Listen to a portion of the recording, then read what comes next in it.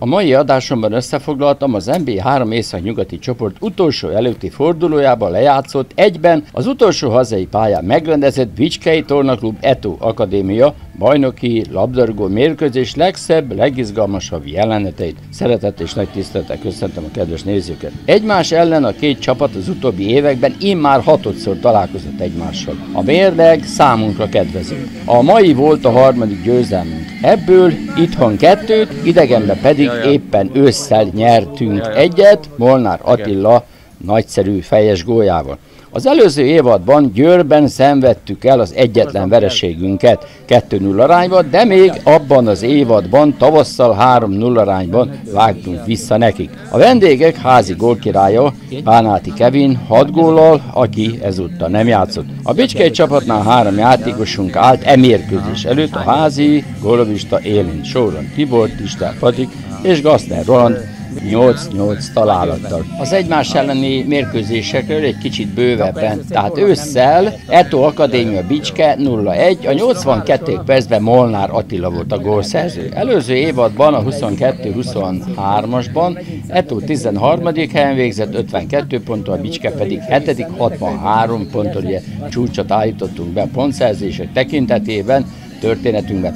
Ősszel Etó Bicske 2-0, 1 0 fél idő után, a 14. percben Szabó Tamás, majd az 52. percben Farkas Balázs Kesző volt eredményes. Tavasszal a visszavágó február 12-én Bicske Etó Akadémia 3-0 gólszerzők, 7. percben Sipos Gábor, 63. percben Marsak Levente, 69. percben pedig Molnár Attila állította be a végeredményt. 21-22 évadban az Eto negyedik helyen végzett 67 ponttal, az bizony szép eredmény részükről. Csapatunk a Bicske pedig a hatodik helyen 62 szerzett ponttal. Ősszel Eto Bicske 1-1, 1 0 fél idő után, 10. percben Kaszás Kornél, illetve a 60. percben részünkről Hirman Kristóf volt eredményes. Tavasszal Bicske Eto 1-1, tehát egyik szezonban sem bírtunk el a Eto csapatával. Egy-egy gólszerzők a 30. percben Soron Tibor volt, és az 59. percben Pereira, Americo, Denilson volt eredményes, így alakult ki az egy-egyes döntetlen. Egymás ellen itthon most már beleszámítottam a mai eredményt is, hiszen ez volt a másik győzelmünk. Itthon volt egy egy-egyes eredmény, 3 0 és egy 4-3-as győzelem. Így tehát három mérkőzés után két győzelem, egy döntés, 8-4-es a gólkülönbségünk, 7 szerzett ponttal. Idegenben van egy 1-1-es döntetlenünk, egy 0-2-es, tehát egy 2 0 verességünk és egy 0 győzelmünk. Így tehát három mérkőzés után egy győzelem, az idegenbeli mérleg egy győzelem, egy döntetlen, egy vereség, 2-3-as a gólkülönbségünk. Összességében hat mérkőzés játszottunk velük, három győzelem, kettő döntetlen, egy vereség a mérleg, 10-7-es a gólkülönbségünk, és 11 szerzett pontunk van. Csapatunk hazai pályán remekel, hiszen 15. mérkőzését játszotta le ezen a napon, és 11 győzelem, egy döntetlen, és mindössze három vereség. Az az egy döntetlen, ugye a harmadik keret ellen 0-0, és volt három vereség, ami elég fájó, hiszen Gyirmótó 0-2, Tatabányá ellen 2-1-es vereség, Gyirmót ellen 2 a Dorog ellen 3-2-es vereség, tehát ez volt a három hazai vereségünk. Amennyiben csak a hazai szereplést nézzük, a 16 csapat közül első Tatabánya 36 ponttal, második, harmadik helyen állunk 34-34 ponttal, a Gyirmot FC Győr 2 mögött, Amennyiben csak az idegenbeli eredményeket veszük figyelembe, első helyen a Veszprém 30 ponttal, másik harmadiket 29, Tatabányák 27, csapatunknak pedig 26 szerzett pontja van, tehát ez volt a hazai, illetve az idegenbeli eredmények alapján a tabella. Rövid kis bevezető után riportozom Molnár Attilával, majd a biztonsági megbízott vezető mesél a feladataikról. Ezután egy percben a pénteki kapura lövésekből játszunk be egy pár szép gólt. Majd a BTC U14 éves női aranyérmes focistáinak a díjátadó ünnepségébe tekinthetünk be. Ezután jön a mérkőzés összefoglalója, utána pedig már a szokásos interjúk a bicskei gólövőkkel és a két csapat szakvezetőjével. Végezetül megismétlem röviden a mérkőzés góljait. Most pedig akkor jöjjenek a beígért nyilatkozatok. Elég régóta nem szerepelsz a felnőtt csapatban. Elmondanád a kedves nézőknek, hogy milyennek az oka? Én is köszöntöm Gyuri Bát, és köszöntöm a kedves nézőket. Ugye november 12-én Zalaegerszeg ellen volt egy rosszabb lépésem, akkor sajnálatos módon elszakadt a keresztalagom. Január 8-án megműtöttek. Egy ilyen hosszas, két hónapos procedúra volt, még találtunk egy műtőorvost, aki szimpatikus is, meg meg meg is csinálja. Ö, megműtöttek, és most vagyok 5 és fél hónapos a műtét óta, és most kezdek visszajönni így a futball életbe. Most jön a labda, most jönnek az olyan futások, amik már, már futballos mozdulatra hasonlítanak. Egy, egy nehéz 5 és fél hónap, nehéz inkább 7 és fél hónap, de most már lassan a végén járok, úgyhogy... És mikor láthatunk újra a pályán? Én, én nagyon bízok benne, hogy, hogy a következő szezonnak az elején, augusztus, legkésőbb szeptemberben már... már a felkészülési időszakban már részt veszel munkában? A felkészülési időszakban igen, igen, olyan szinten, hogy szerintem ilyen kontakt nélküli, kontakt nélküli ö, módon, módon edzenék, de, de nehéz, nehéz megmondani, mert sok mindentől függ. Ö, az a lényeg, hogy augusztus-szeptemberben 100%-os szeretnék már lenni. Attila, most az Eto Akadémia ellen játszunk, ősszel, akkor még játszottál, és egy hatalmas gólt fejeltél a hazai kapujába, azzal megnyertük a meccset. Te hogy emlékszel arra a góra? Igen, hát pont, pont, pont így a, érdekesen jött az élet, mert hogy elkövetkező héten sérültem meg. Hát ö, egy borzasztó talajú pályán játszottunk, esett az eső egész nap, nem nagyon volt sok futball érték azon a mérkőzésen. Hát a, a Hírman, Híri megindult, kirakta a szélre, és a Gassi beadta, én meg becsúsztattam a hosszúba, és hát igen, nagy volt az öröm, hogy Gyuriba is többször felemlegetett, megígértem meccs előtt így, így mert még sose csináltam ilyet, hogyha, hogyha, hogyha gólt lövök, akkor ott a nagy pocsvajába csúszok egy, egy pár métert. És Csúsztál vagy 10 métert a nagy vízbe, hát órási víz volt az, hatalmas volt, róla is, meg az egy fontos gól volt. Igen, igen, örülök, hogy sajnos rosszul jött ki, ugye megint a sérülés miatt nem tudtam segíteni a csapatot így a tavaszi szezonra, pont az őszi szezon utolsó mérkőzésen sérültem meg, uh-huh. de örülök, hogy ezért valamire, valamennyire hozzá tudtam járulni ahhoz, hogy ott vagyunk, ahol vagyunk, meg, meg bízok benne, hogy, hogy lesz ez még szebb is és nagyon szurkolok, hogy, hogy hasonló, sőt jobb eredménnyel jöjjünk le is a pályára, mint tavaly össze. Igen, hát azt akartam kérdezni, mit vársz ettől a találkozótól, így, hogy nem játszol kintről nézve? Hát kintről nézem már egy ideje meccseket, és minden találkozótól azt vártam, hogy minél jobban játszunk, és minél több pontot szerezzünk. És úgy gondolom, hogy, hogy ez a tavaszi szezonban ez, ez teljesült is, egy-két, egy-két félrecsúszáson kívül, de, de, de nagy öröm számomra, hogy így szerepel a csapat, és a mai mérkőzésen is, is bízok benne, hogy folytatjuk azt, amit felépítettünk. Attila, még egy pár mondatot mondjál már, voltál az erdélyi kiránduláson, hogy tetszett neked az? Az erdélyi kiránduláson nem voltam, viszont a vésztői kiránduláson igen. igen. A vésztői kiránduláson, ugye, ahogy igen. Gyuribát, Gyuribát igen. ünnepeltük, igen. Az, egy, az egy remek kirándulás volt, egy nagyon szép kis településvésztő, és, és nagyon vendégszeretőek voltak ott, meg, meg Na, hát jól éreztük Köszönjük szépen. Úgyhogy sok sikert neked, és minél előbb épüljél fel Attila. Köszönöm, köszönöm szépen az interjút. Köszönöm szépen. Légy szíves beszélni arról, hogy milyen feladatot láttok el ezeken a MB3-as labdarúgó mérkőzéseken.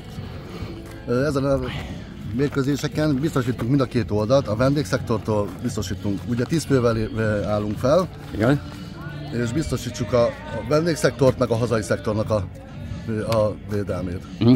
Hol helyezkednek el a rendezők a cserepad előtt ülő játékosok előtt? Ugye nem zavarják a kilátást, mert gondolom azért a nézők őket sem zavarják. Így van, a nézők fölött uh, található, ott, ott helyezkednek, hogy ne legyen senkit nem, ne zavarjanak be. Értem. Volt-e már arra példa, hogy uh, valakit ki kellett vinni a pályára, vagy be kellett rohannatok a pályára? Volt rá példa, Igen? volt rá példa, de, de azt megoldották a két biztonsági két belső ember. Úgy általában milyennek tartod, hiszen te is itt vagy mindig, milyennek tartod ezeket az MB3-as labdarúgó mérkőzéseket fegyelmezettség terén, biztonság terén? Biztonság szerint rendben van minden. Igen? Nincs, nincs semmi probléma. Játékvezetőkkel milyen kapcsolatot tartatok? Föntartsuk teljesen normális üzét. A Sportegyesület vezetőségével milyen kapcsolatot tartatok? Teljesen, teljesen. Szerződés alapján dolgoztok? Így van. Jövőre van, van már szerződésetek? Így van. Jó. Hát akkor Köszönöm szépen az interjút, és nagyon sok sikert a munkátokhoz. Köszönjük szépen. Hölgyeim és uraim, a mérkőzés előtt egy ünnepélyes ceremóniát szeretnénk lebonyolítani. Megkérnék a Teszeli Zoltán elnök urat és Csörgő Ákos alpolgármester urat, hogy fáradjanak az asztalhoz. Ennek az apropója nem más, mint két év után újra bajnok csapata van, a Bicskei Tornaklubnak, mégpedig idén az U14-es Leán csapatunk első helyen végzett a Fejér megyei bajnokság északi csoportjában, és szerettük volna méltó módon ünnepelni a lányokat, ezért most a mérkőzés előtt adjuk át az érmeket. Megkérném, hogy sorba fáradjanak föl a lányok az éremátadásra, és utána a Gyuri bácsi irányába egy sorban sorakozzanak föl. Adra vesz Noémi. Angyal Diana. 16 góljával Diana második helyen végzett a házi gólövőlistán. Pálit Vivian. Bíró Sára. Sára. A csapat házi gól királya 22 góljával. Csörgöl Anna. Halka Rebeka. Johannides Adél. Orsós Jászmin. Röpkös Blanka. Schwaner Jasmin. Tóth Ejke. A csapat tagja volt még, de nincs jelen Nagymira, illetve Szerencsés Dóra. A csapat edzője, Vinc Kevin.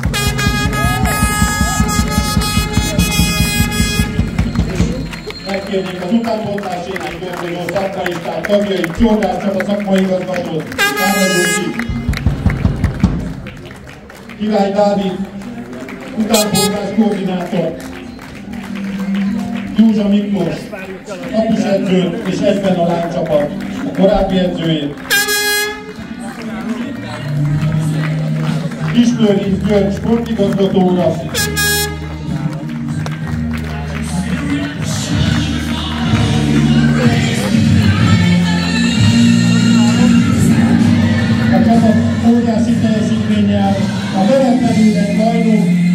a 12 győzelemmel és két döntetlennel. És végül, de nem utolsó sorban megkérném sportigazgatóra, hogy elnök úrnak is adjon át egy érvet. Hiszen ha valaki, akkor elnök úr is rengeteget dolgozott az utánportásunk sikeréért. Várj, állj meg, Gratulálok. Lassan nyerás. Ide néz, ide néz. Szép szép fiúk, köszönjük, gratulálunk a csapatnak, és további sikereket kívánunk mindenkinek. Tehát innen a mikrofon mellől én is gratulálok az új 14-es női labdarúgó csapatunknak, mint azt láthattuk a találkozó megkezdés előtt ünnepés keretek között Tesszari Zoltán, a Bicskei Tornaklub elnök és Csörgő Ákos Bicskávás alpolgármestere köszöntötte a Fehér Vármegyei U14-es aranyérmes Bicskei TC női labdarúgó csapatát, akik veretlenül nyerték meg a Vármegyei bajnokságot 12 győzelemmel és 2 döntetlennel vereség nélkül. A csoportban ők rúgták a legtöbb gólt, 62, és a legkevesebb gólt kapták, mindössze 8-at. Csapatunk adta a Vármegye gólkirályát is Csörgöl Anna ö, személyében, aki 22 gólt rugott. Gratulálunk az aranyérmes női labdarúgó csapatunk valamennyi tagjának, a stábtagoknak és a Bicskei TC vezetőinek, hogy két évvel ezelőtt elindították hódító útjára lányainkat. Szép volt lányok, köszönjük, és további sok sikert kívánunk nektek, és akkor ezek után jöjjön gyorsan a két együttes összeállítás beállítása, tiszta zöldben a Zető csapat, a tiszta fehérben a bicskáik bevonulását látjuk. A vendég együttes összetétele. Kocsis Botond a kapuban, további játékosok. Csáki Arman, Kulcsár Martin, Naman Tudor Stefán, Nemed Jasin, Décsi Ádám, Mitring Zsombor, Bíró Barnabás, Encsamu Luke William, Tamás Korné, ő a csapatkapitány. Konc Dávid kezdő 11 léptek a pályára cserepodon foglalt helyet Kis Ákos, Sejen Bálint, Gönye Áron,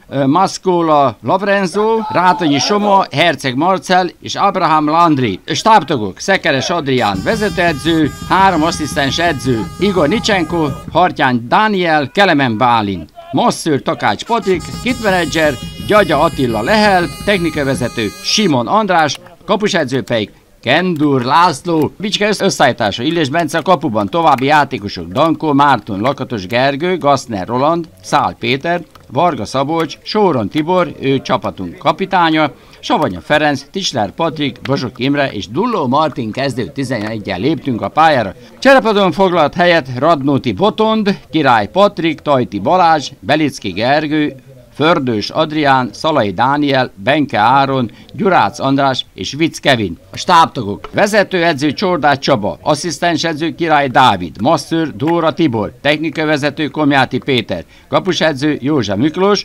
erőléti edző Borbély Erik. A mérkőzés 2024. 5. 19-én játszották a csapatok a Bicskei arénában, játékvezető Pap Ádám, segítői Király Zsolt és Topászki Szabin, játékvezető ellenőr Varga László.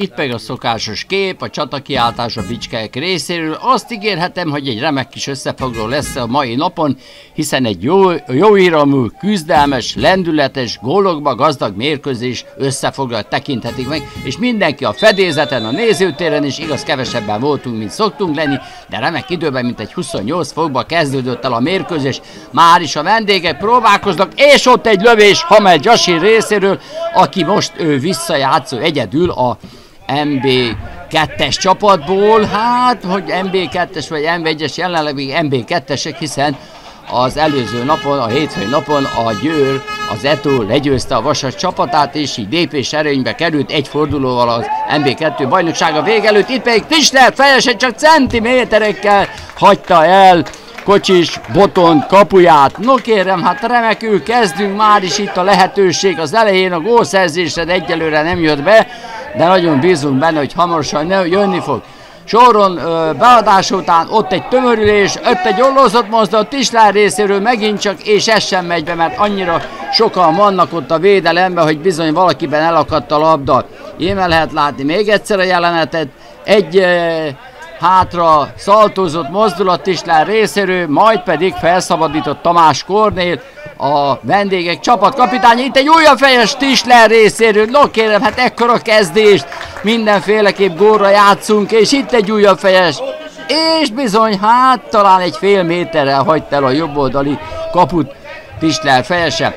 Ezúttal Varga Szabolcs maga elé teszi, meglő a labdát, kirpattan a kapusról, nem is jön, de Tissel nagyon határozott és kemény, erőszakos visszaszerezte a labdát, és tovább támadhatunk újból Vargánál labdát, de Varga Szabolcs rossz felé csinálta a cselt, és így a védő helyzet előnybe került. Itt pedig sarkazás, egy egy kapura lövés, megint csak Hamed Jasintól, ugye hát itt ő a mozgató erő ereje a, a vendég csapatnak, meghatároz egyéniség, és itt a gól, azt a mindenit. Hát ez egy váratlan húzás, és Nine Enszama a 18. percben megszerzi a vendégek vezető gólját. Szál Peti nagy nehézségek árán megszerezte, majd hosszan szöktette magát. Enszamának ez a második találata ebből a szezonban, és akkor 18. percben íme Bozsoki egy ütemet ne, tévesztett Bozsokibre. Enszama megelőzte, és bepofozta a labdát ütemtelenül, de még mielőtt hárított volna,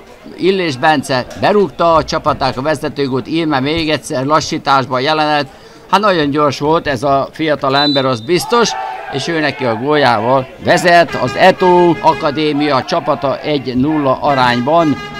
És akkor nézzük tovább az összefoglalót, hiszen itt már mi támadunk, mi próbálkozunk újabb gólszerzéssel, jönnek a vadások, Gaszter beadja könnyedén, Tisler és oda be a kapu közepébe, igaz pont ott oda fejelt, ahol állt a vendége, kapuvédő, a kocsis Botond.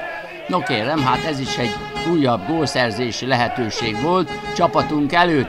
De nem jött be, ami késik nem múlik. Varga Szabos remek labdája ki jobbra, és jön a beadás Gaszter részéről, kifejlik a védők, vissza a Varga Szabolcshoz, Varga Szabolcs pedig ballal egy patalás után. Remekül rúgt a kapura, de lövése fölé szállt. És újabb próbálkozás, Ezúttal a gólszerző próbálkozott kapurájmeléssel, de nem sikerült neki.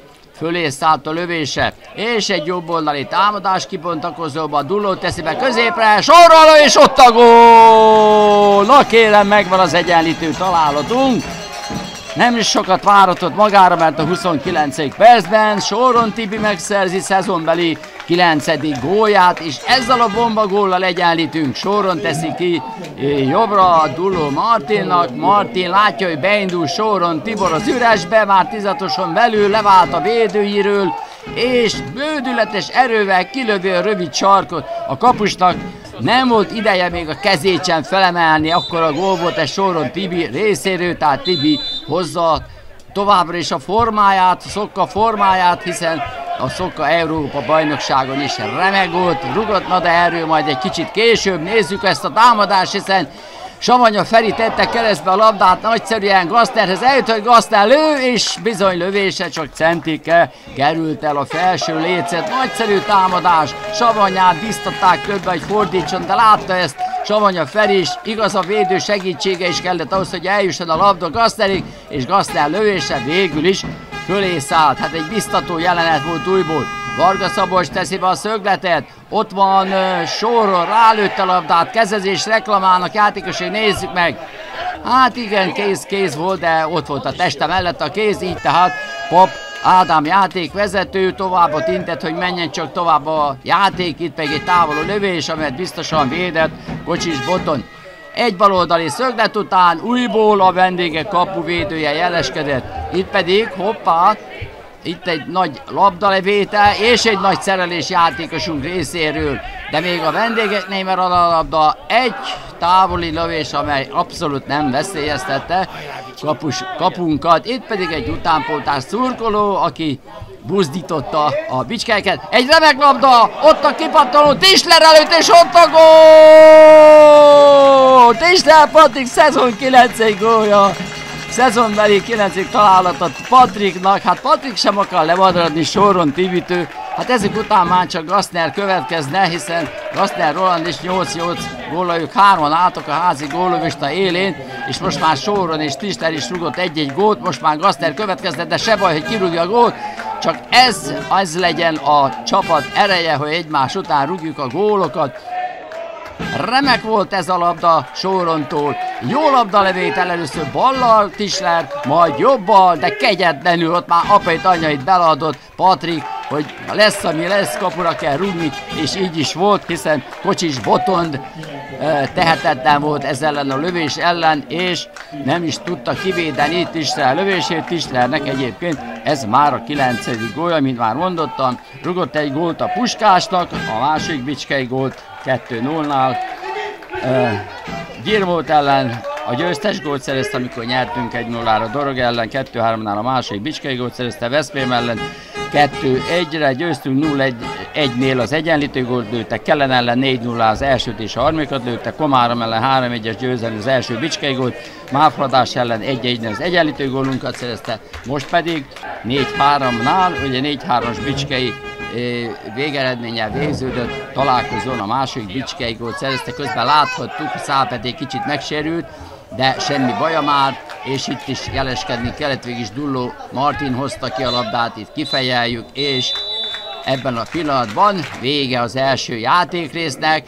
No kérem, hát 2-1-es vezetéssel vonultunk az öltözőbe, lehet látni a nézőket, hogy szép számmal voltak jelen, de ennél még többre hivatott ez az MB3-as csapat, hiszen remek, színvonalas mérkőzéseket lehet látni ezeken az MB3-as bajnoki csatákon. Egyelőre vezetünk, és akkor gyorsan még elmondom Soron Tibinek a 9 találatát, hiszen ez volt neki a 9 gólya.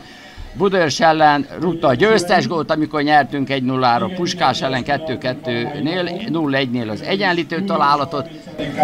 Búcsúzik Egyesületünk fáradhatatlan szertárosa, Nagy Györgyné, Ági néni, és ezen alapon szerettük volna őt ünnepélyesen elbúcsúztatni. Kérjük Ági néni, hogy fáradjon az. És köszönjük mindent!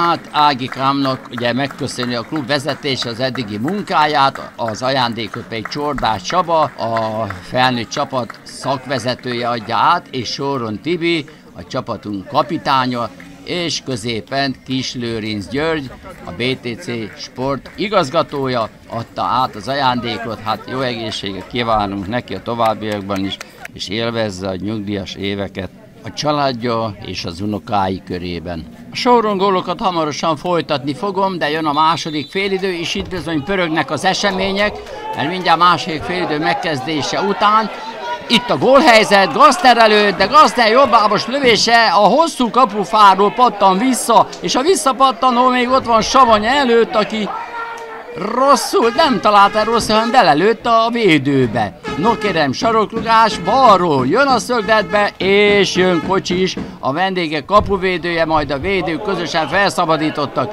Itt pedig Bozsokinak kellett nagyon jól fedezni a labdát, hogy az biztosan eljusson Illés Bencéhez. Jobbról saroklugás csapatunk javára. Soron végezte el. Jön a bejvel és Varga Szabocs kapás lövését! Szalai Dani épp, hogy nem érte el. Íme még egyszer. Fantasztikus jól találja el, kilőtte a hosszút, és csak centiméterekkel hagyta el az Eto kapuját. Óriási lövés volt ez kérem, és akkor jönnek a sorozatos cserék, ötöt cserélt a vendégek mestere, és ötöt a mi mesterünk is, és ott Szalai lövését bizony bravúrral kellett védenie Kocsisnak az 59. percben. Íme még egyszer, hát ez majdnem megtréfált a vendégek kapuvédőjét, ez a kapura lövés. Itt még Belicki kapja az utasításokat beállás előtt, de nézzük még mi lesz a baloldali szöglet. Után soron végzi el, jön a labda be, és visszafejeli Bozsoki, és ott van Szalai, és ott a fejes, és ott a gól! Na kérem, megvan, megvan a harmadik Bicskei gól. A 61. percben íme egy szép egy jó szöglet után Bozsoki visszafejeli keresztbe, Szalai két feje magasabb ugrik, mint a védő, és befejelő Hoda hosszúba, hát lőtt már ilyet, illetve fejet már ilyen volt ő az elmúlt időszakban, de hát ez csodálatos, és ez 3-1-es előnyt jelent a Bicskei csapat javára a 61. percben. Szalai ezzel megszerzi szezonbeli hatodik találatát. Rugott egy gólt Balatonfürednek, 2 0 az első gólt lőtte, harmadik kerülettel az 1-3-nál azt az egyet lőtte, Komárom ellen 1-1 az első gólt lőtte, akkor még egy ra vezettünk. Íme még egyszer ez a csodálatos gól ZTFC ellen, amikor győztünk 3-1 az első gólt lőtte, az 1 0 vezettünk Dorog ellen, 2-3 az első Bicskei gólt szerezte, és ettől ellen most a harmadik.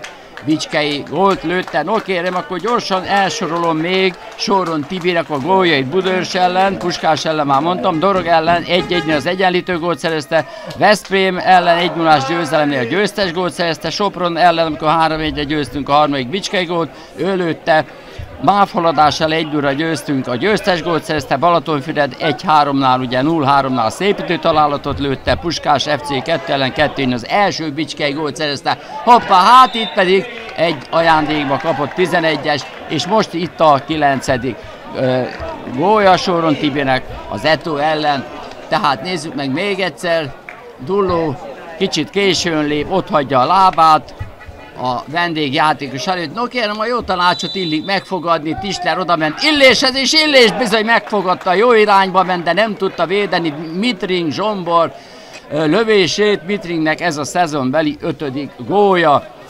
No kérem, remek irányba ment, jó volt a sugás Tisler Patrik részéről, és ez ellen a lövés ellen viszont nem tudtunk mit tenni a 65. percben, tehát Mitring góljával 3-2-re jönnek fel a vendégek. Hát igen, izgalmas lett itt 3-1 után, pedig már elkönyveltük a biztos győzelmet. Egy remek labdátvételt Islertől, aki kilövi a hosszút. De labdája csak centikkel zúgott el a hosszú mellett, kérem. Belicki remekül emelt át a védőn. Itt egy gyönyörű labdakezelés Tislertől. És egy jó kapura lövés, kár, hogy centikkel ment, mert itt Tamás Kornél elől e, szerezte meg a labdát, Tisler is lőtte a hosszú mellett el. Egy újabb sorozatos támadások egyike, Tisler előfejelték ki a védők, egy újabb szabálytalanságnak tűnő eset, de bizony bosszankodik a vendégek játékosa, gólszerző Enszama, hogy bizony ő nem követett el kezezést, pedig a partjező lát, és ott a feje Szalai részéről a 74. percben. Egy remek jobboldali sarokrugás után, egy Csoron Tibi végzett el, pont oda varázsolt a labdát Szalai Dani fejére, aki megszerzi csapatunknak az újabb gólt, és ezzel most már 4-2, tehát újabb két gólos vezetés birtokában vagyunk a 74. percben, tehát bő negyed órával a vég előtt és akkor jöhetnek a pacsika stáb tagok részéről és a cserepadon ülő játékosok részéről. Itt a kocs is nagyon nagy lelkesedéssel fogadta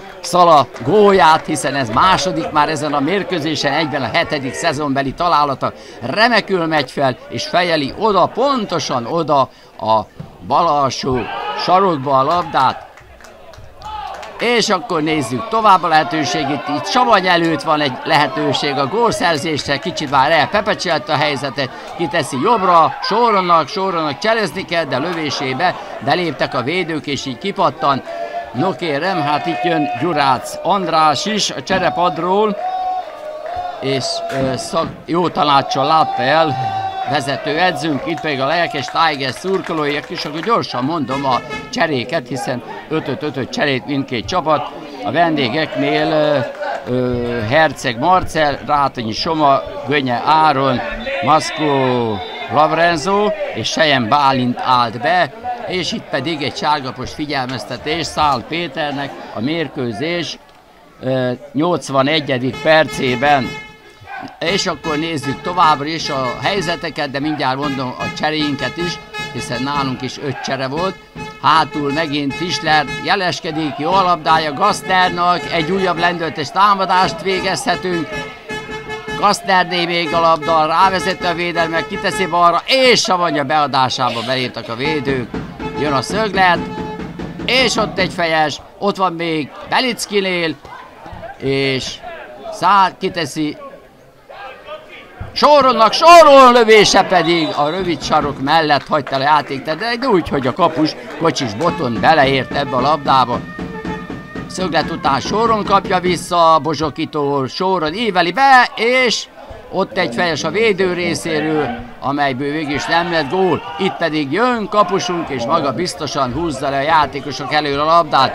Egy remek labdavétel, jól megkerült csel Savanyától, Savanya kemény lövése pedig kötényként csapódik ki alapon túra labda, íme még egyszer Tamás Korné lábai között került ki alapon túra labda soron. Szögletét láttuk, Tisztelt, hogy kicsit most elpattan, de nagyon harcias, remekül játszott Tisztelt Patik ezen a mérkőzésen végig, visszaszerezte a labdát, jön a badás, a védők újból kivágták. Fantasztikusan játszott csapatunk, egyértelmű volt, fölényünk 4-2-re vezetünk, és itt egy szabadrugás Bozsoki részéről, amelyért jár sárgapos figyelmeztetés a játékvezető zsebéből, tehát 88. percben Bozsuk is besárgult, 71. percben, percben pedig Encama kapott sárgalapot, és akkor jön a, a lövés, amelyből megvan a szépítő gól Tamás Kornél, 22 éves, ő a rangidős az ellenfélnél, bombagót szerez, szabadrugásból ballal, nagyon kipókhálózta a bal felső sarkot, éme még egyszer,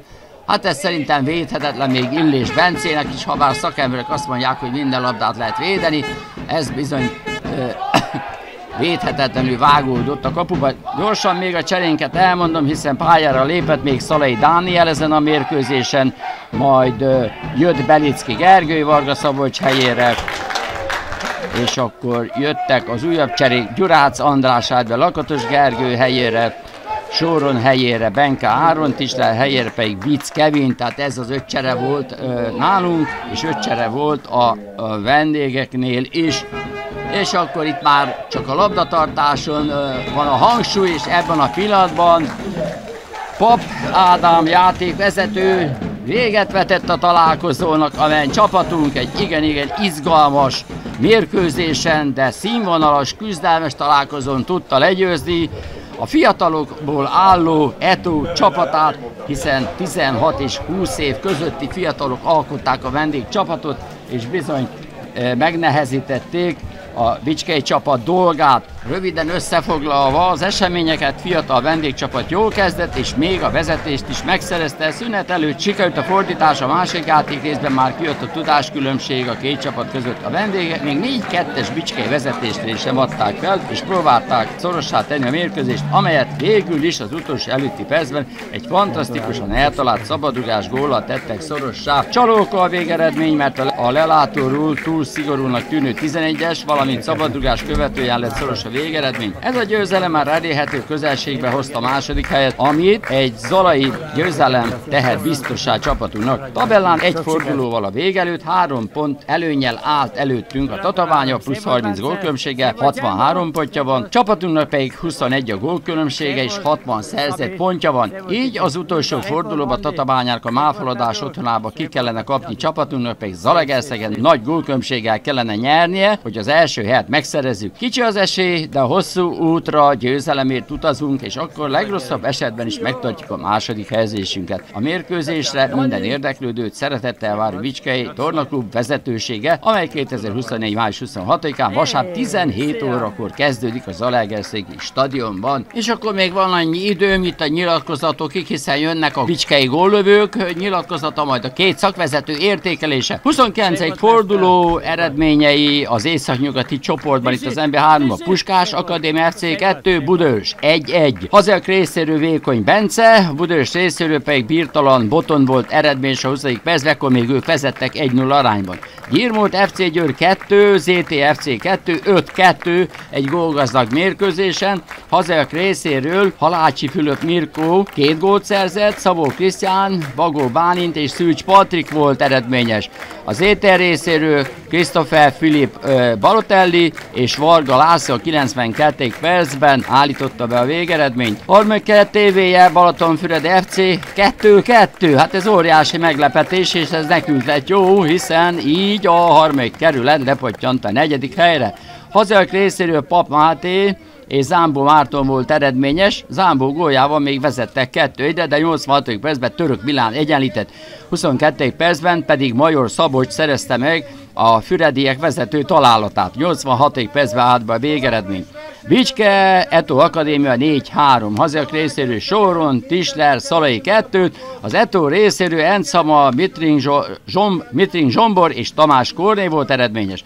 Dorogi FC, Szombathely MÁV haladás VSE 2-3. Hazak részéről Szerencsés Miklós, és Tomás Lénárt volt eredményes. Szombathelyek részéről Szabó Martin két gólt szerzett, és a 94. percben Árvai Dávid állította be a végeredményt, a 3-2-es végeredményt. Opus Tigász Tatabánya, Komárom Vélyese 2-1. A 33. percben Sandal Dominik szerzett vezetést a vendégeknek, majd a 64. percben és a 77-ben Árvai Dániel két góljával megfordították a mérkőzést a tatabányai. Csornai Ese, Kaola, SC Sopron 1-1. Hazák részéről Vízler László Tamás, a Sopron részéről pedig Kocsis Ármin volt eredményes. Veszprém, Kellen SC 1-0. 54. percben Dömötör Máté volt eredményes. Egy csapat nem tudott csak góltolni, 31 gól esett összesen. Leggólgazdagabb mérkőzés a Gyirmot ZT 5-2 és a Bicske Eto 4-3 volt és ezek után hallgassuk meg a bicskei gólövőket. Talán jövök még a legfrissebb tabellával. Dicsi, gratulálok, fantasztikusan játszottál. A gólod mellett rengeteg helyzeted volt, helyzetbe kerültél.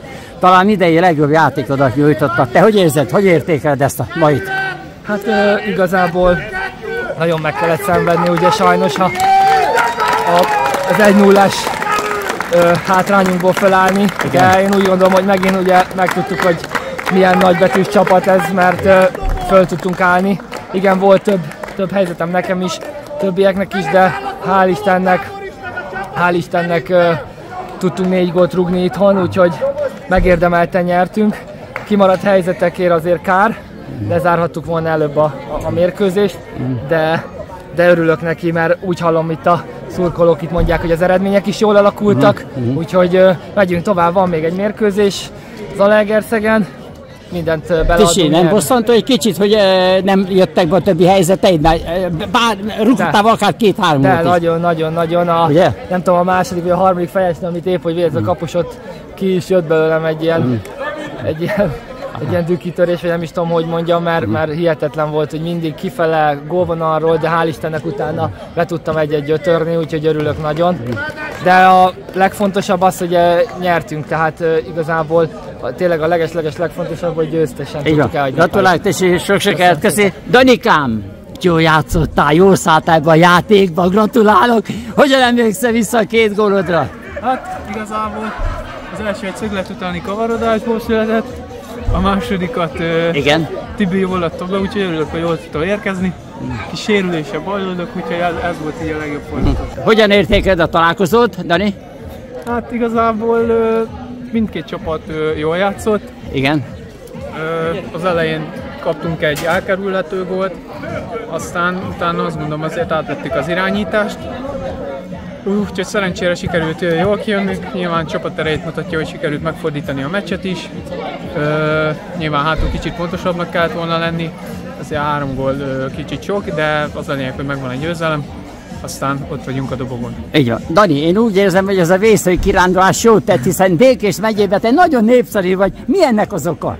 Hát azért játszottam pár évet Békés Csabán. Igen? Ott akkor még sikeresebb is volt a csapat szerencsére. Aha. Sajnos ott voltam a végén is. Aha de ez lehet az oka. Milyen, milyen volt a vésztői kirándulás? Hát ö, eredményes volt azt gondolom, attól függetlenül, hogy messze volt, jó, tehát egy kicsit ö, kiszakadtunk Igen. így a hétköznapokból, úgyhogy mindenféleképp eredményes volt itt a szezon végén, már nem feltétlenül az edzéseken van hangsúly, hanem hogy még az utolsó ö, fordulóra is. Dari, úgy fel. érzed, visszatértél régi formáthoz? Hát a régi formámhoz nem. Még nem? Tudsz ennél még többet? Hát nem, Gólba biztos, hogy nem. Igen? A lábban még nem százszerzalékos, de most nyilván olyan helyzetben voltunk, hogy, hogy ezt be kellett vállalni. Jó. Gratulálok, és sok sikert csapatunknak. Köszönöm, Köszönöm szépen az interjút. Csaba, gratulálok ehhez a, ehhez a nagyszerű győzelemhez. Hogyan tudnád értékelni majd a mai találkozót?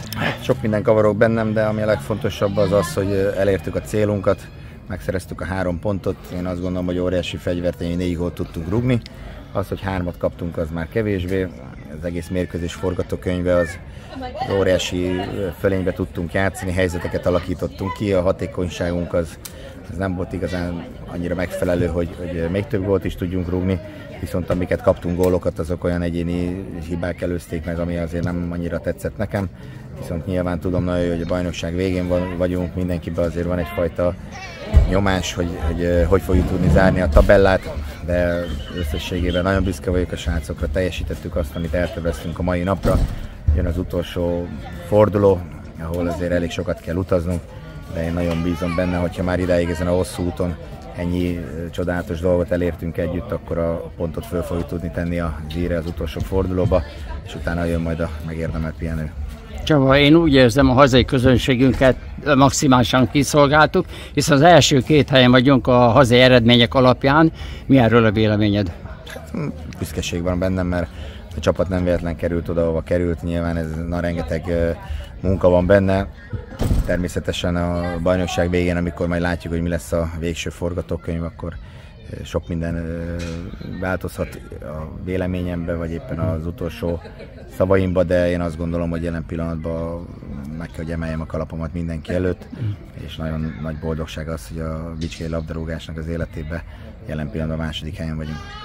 Csaba, én úgy érzem, hogy most talán kár, hogy most fejeződik be lassan a bajnokság, hiszen most, most kezdett belelendülni a csapat. Én úgy érzem, hogy talán most játszott a legjobban, és sok jó egyéni teljesítményt mutattak a játékosaink. Ezzel egyet tudok érteni én is, de ugye azért az, hogy mi három gólt kapjunk hazai környezetben, azért ez nem fér bele. Nyilván ennek meg voltak az okai, de azért mondom, hogy ma voltunk annyira erősek, hogy egyet több gólt tudtunk rúgni. Most nyilván már azért mennek a különböző elemezgetések, különböző szóbeszédek. Most, hogyha nem a 29. fordulóban lennénk, hanem csak a 20. fordulóban, uh-huh. akkor torony magasan vezetnénk a, a tabellát, hogyha az utolsó 20 fordulót nézzük. Nyilván javult a teljesítményünk, nagyon jól sikerültek a téli erősítések, de én azért mondom, most ebben még nem szeretnék belemenni. Uh-huh. Van egy nagyon-nagyon fontos mérkőzésünk az utolsó fordulóban az Zalaegerszegen, én nagyon szeretném onnan is elhozni a három pontot, és akkor majd meglátjuk, ahogyan tovább. Csaba, van öt vereségünk, ősszel volt kettő, most tavasszal három. A öt vereség közül melyik volt az a mérkőzés, amelyik hozható, vagy legbosszantóbb vereség volt? Hiszen ha most egy győzelmet több van, akkor lehet, hogy első helyen vagyunk. Én azt gondolom, hogy eh, minden vereség fájó, nem Igen. szeretnék különbséget tenni, de természetesen azért a, a bajnokságnak itt a, a forgatókönyvét, hogyha nézzük, akkor azért azt el kell ismerni, hogy szerintem ez a legerősebb osztály. Uh-huh. Rengeteg nagyon jó csapat van. Azért azt láttuk, hogy tavasszal brutális meglepetés eredmények voltak, brutális gólszámokkal, kiegyensúlyozott volt a bajnokság része, hogy azt sem lehet mondani, hogy csak az előlévő 5-6, akár 8 csapat volt az, aki nyugodtan tutira lehetett mondjuk azt megállapítani, hogy ők az esélyesek, mert azért itt kellemes meglepetések voltak, meg kellemetlen meglepetések, nem kell messzire mennünk a múlt héthez, hogy a haladás meg kiesett a bajnokságban, mégis megfricskáztak bennünket, mm-hmm. és akármennyire nagy volt a fölényünk, mégis ugye ott hagytunk kettő pontot. Úgyhogy nem szeretnék így különbséget tenni a vereségek között, összességében kell nézni, de ahogy mondtam, harmadszor ismétlem, a jövő héten erről beszélünk.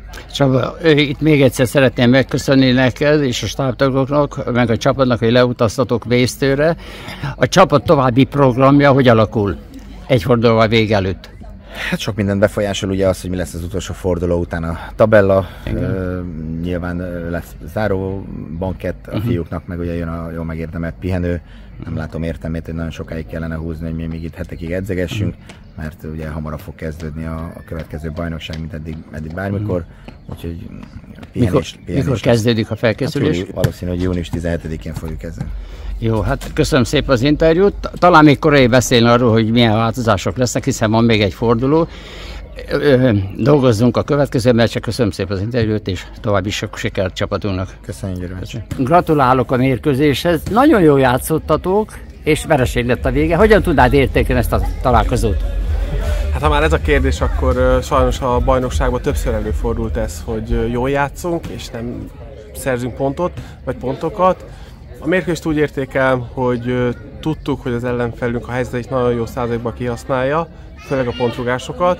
A, ezeket már nem tudtuk levédekezni, ebből kaptunk gólt, és akár gólokat is kaphattunk volna, de tudtuk azt, hogy ha viszont mi focizni fogunk, a játékkal foglalkozunk, nálunk van labda, akkor lesznek lehetőségeink. Ez így volt, 0-0-nál is volt már lehetőségünk, utána megszereztük a vezetést. Egy fordulópont volt a mérkőzésen, 2-1-nél a másik fél első percébe, ha azt berúgjuk, nagyon nagy lehetőség volt, talán 2-2, ott még egy lendet kap a csapat, ez nem sikerült. Uh-huh. Adrián, egy visszajátszód volt, ha jól tudom, abban csalódtál annak a játékába, hogy lecserélted, vagy így volt megveszéve? Nem, nem volt a Hamednek perc limiter, nem csalódtunk benne a, bíztunk abba, hogy aki a helyére beszáll, az egy lendületet tud hozni a csapatnak. Szerencsére a Soma, ahogy a mai mérkőzésen, az előző héten is jól szállt be, és hozzátett a játékunkhoz. Mennyire vagy elégedett a csapat összteljesítményével, hiszen ott vagytok a kieső zónában, igaz már nem biztos, hogy kiestek, mert ugye 13. helyen vagytok. Mennyire vagy elégedett ezzel? Nyilván pontok számában nem, mert, mert rászolgáltunk volna arra, hogy több pontunk legyen. Um, azt gondolom, hogy lehetett is volna. Volt, amikor ez mi hibánk volt, nem tudtuk berúgni a helyzeteket, vagy olyan gólokat kaptunk, ami abszolút elkerülhető, de nyilván ott kell a fejekbe annak lennie, hogy egy akadémia vagyunk, és ez egy tanulási folyamat. Hát nekünk nincsenek ilyen pillanatban olyan játékosaink, mint itt uh, Tisler Patrik, Varga Szabolcs, a Belicki Gergő, uh, Király Patrik a kispadon. Ilyen futballistáink nincsenek, akár Soron TV-t is említhetem, NB1-es múltja van, ügyes futbalistáink vannak, Igen. akiknek érniük kell. És nem csak játékba, nem csak futballozni, uh-huh. nem csak meg kell tanulniuk védekezni, hanem fejben is, mentálisan. Uh-huh. Lehet, hogy egy lehetősége van, az be kell lőni. Lehet, hogy egyszer kell védekeznie úgy, amitől gólt menteni a csapatot.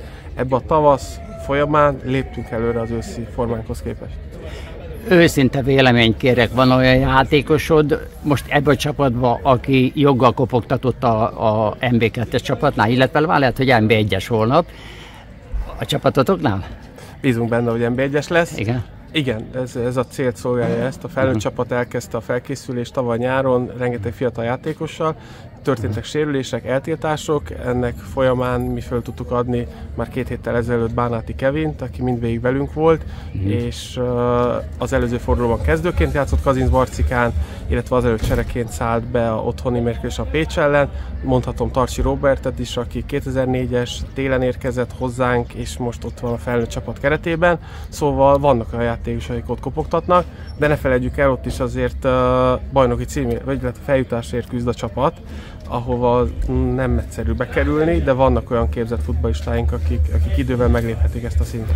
Andi, te ott vagy a tűz közelben, gondolom most Győr a futball ég, holnap nagyon nagy meccs lesz a Vasas ellen. Mit vársz ettől a találkozótól? Hiszen uh, 6 óra kikaptatok ősszel, most itt a visszavágás lehetősége.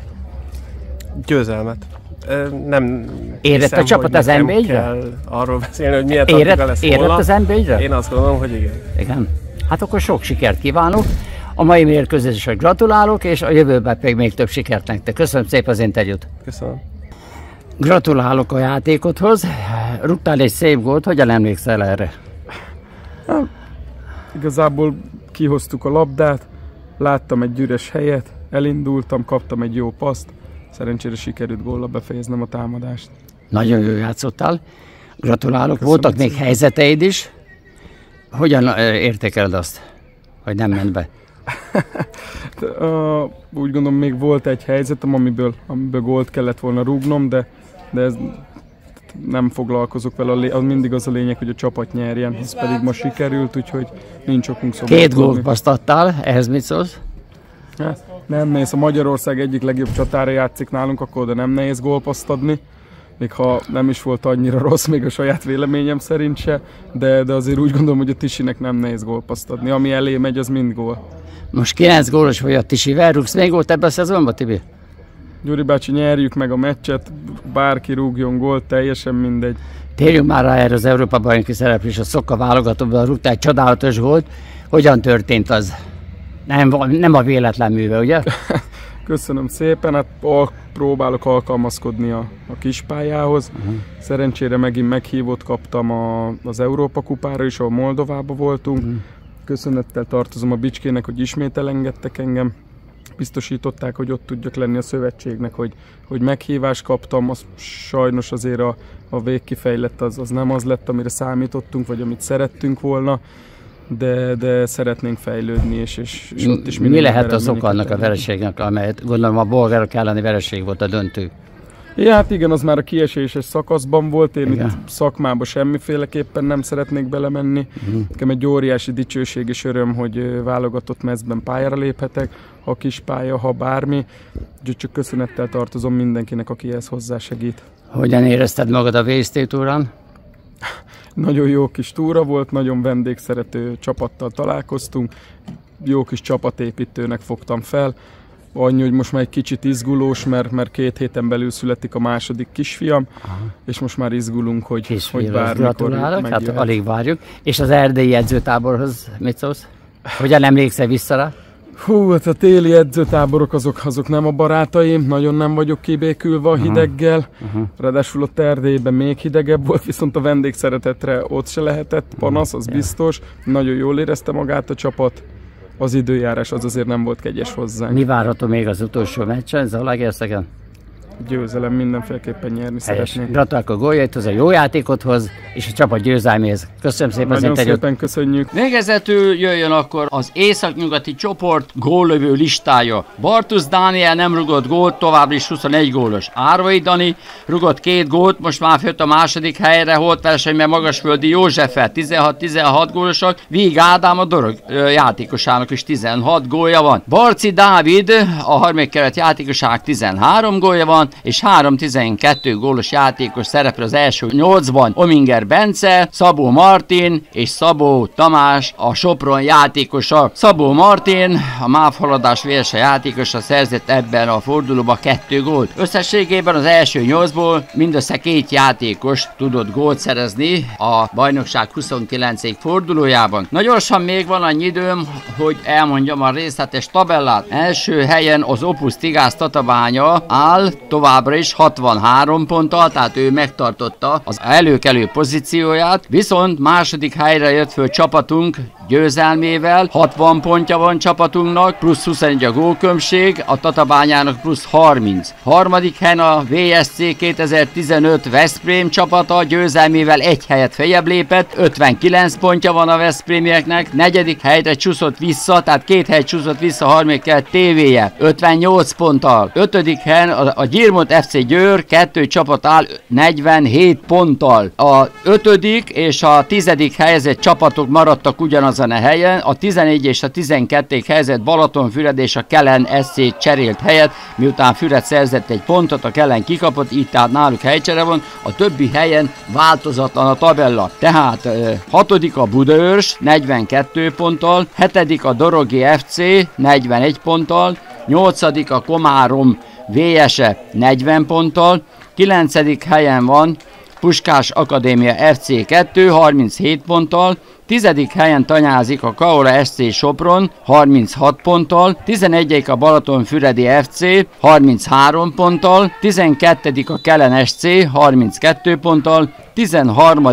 A mai ellenfelünk ö, vereségével is maradt ugyanott, 31 pontja van az Eto Akadémiának, 14 a szombathelyi mávhaladás VSE 26 ponttal, 15 a hétvégi, tehát a bajnokság utolsó fordulóban szereplő ellenfelünk a ZTFC 2 csapata 20 ponttal, és 16.